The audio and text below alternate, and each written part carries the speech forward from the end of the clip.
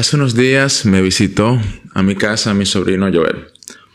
Él no sabía usar Photoshop y pues obviamente lo que yo hago es en mi casa es usar Photoshop. Y bueno, quería aprender así que le di un cupón gratuito para, para uno de mis cursos de Photoshop, en este caso Photoshop para diseñadores.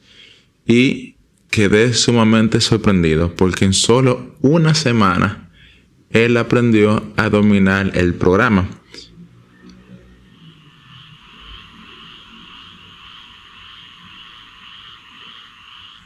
Y quedé sumamente sorprendido porque en solo una semana él aprendió a dominar el programa. Y en este video te voy a explicar cómo lo hizo. Vámonos con el intro.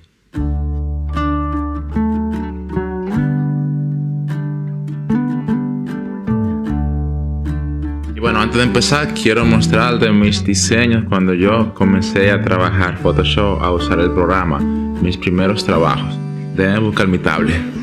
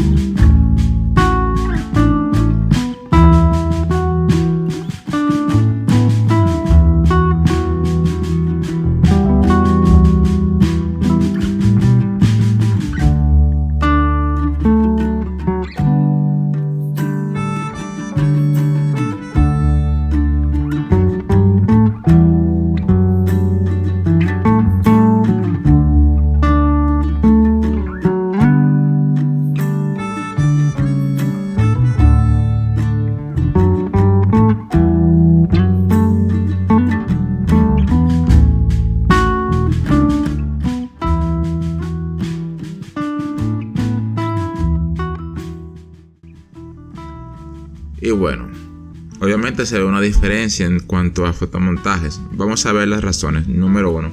La primera razón es, es que el Photoshop que yo comencé a usar en el 2006 es muy diferente al Photoshop de versiones recientes. Incluso te sorprenderás de las novedades que tiene la versión 2021.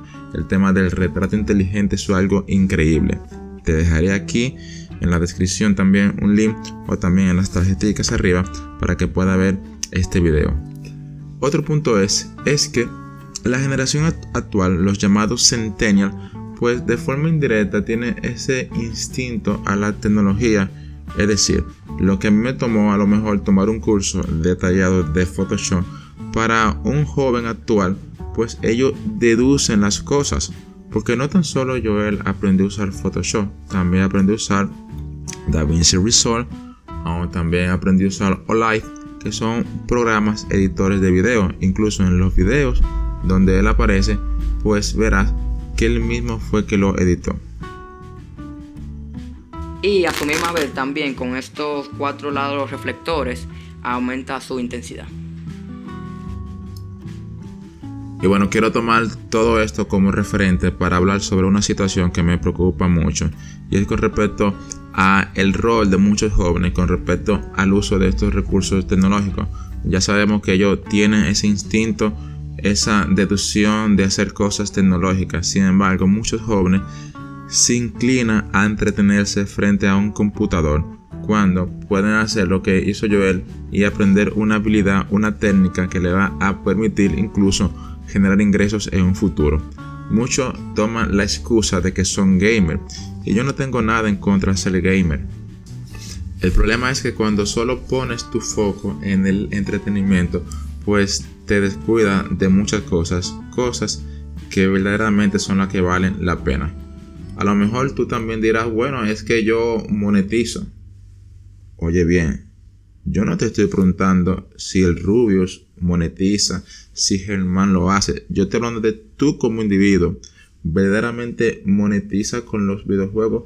Porque si no es así, es bueno que hagas un reenfoque. ¿Qué tanto tiempo tú estás invirtiendo en el computador? Y que tomes medidas.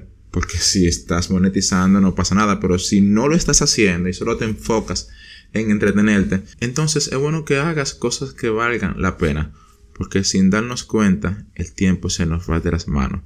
Y es muy triste llegar a una edad adulta sin saber nada, sin dominar alguna técnica, teniendo los recursos y teniendo la habilidad para hacerlo. Espero que este video pueda ser de reflexión para muchos jóvenes y si eres gamer, pues déjame en los comentarios cuál es tu opinión sobre el tema. Dios te bendiga mucho y chao chao.